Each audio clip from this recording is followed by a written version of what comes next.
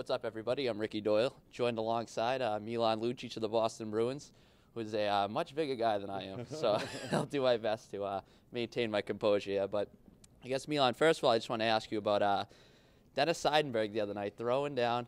I know you've recently been voted the uh, toughest player in the NHL by your peers. And I mean, I, I wasn't voted the uh, toughest member of the new media team here at NESN, but can you uh, shed some light on, you know, what it's like to see a guy like Seidenberg, somebody who doesn't throw down very often, to get out there and, you know, kind of show, you know, tell McQuaid, stay away, I can handle this?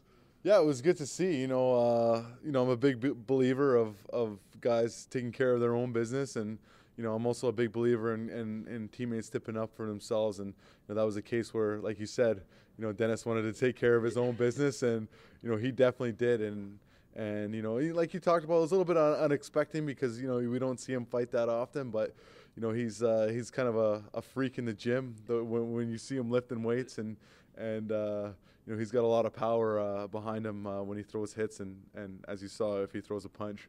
Now, is there any other, I guess, quote unquote non-fighters that we should look out for? I know Bergeron, he he slipped a left jab in there a couple of years ago. So, is there anybody else we should look for? Uh, you know, the kid there that came up, he had a uh, McDermott. You know, he had a great fight with Rupp, who uh, you know, who, who's definitely established uh, a tough guy in, in the NHL, and uh, you know, he's definitely uh, did did very well in that fight. And like you said, you know, Bergeron is, is definitely sneaky tough. You know, he, uh, he's he's one of those guys. If when he snaps, he snaps. And um, I know you guys are a real tight knit bunch in the locker room, and lends itself to plenty of nicknames, plenty of pranks. I know who has the most nicknames. It's probably uh, Brad Marchand, obviously. But what is your favorite nickname? And I mean, who's responsible for coming up with these?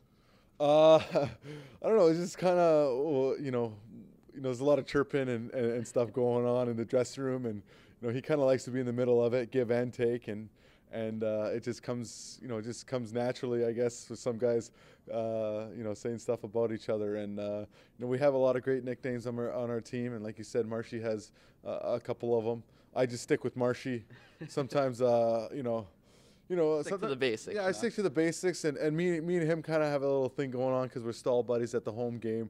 I kind of call him Wiz. Don't ask me why. I, I, call him Wiz a couple times, and and that's about it. But uh, my favorite nickname on the team is probably um, is is the most clever one is Soup you know, because of because of Campbell soup. Yep. You know, Greg Campbell, so you call him Soup, Soupy. so I think that's the most clever one out of all of them. Well, Wiz, I haven't heard that one before. Uh, so is there any other well, new ones we should know about? It's, it's it's me and him. We got our own little thing going on. It's kind of because. Uh, at the start of the year, all he was doing was singing this one Wiz Khalifa song, so I started calling him Wiz. That makes sense then. yeah. All right, Milan, appreciate you taking the time. All right, and uh, thanks for dropping by. No problem.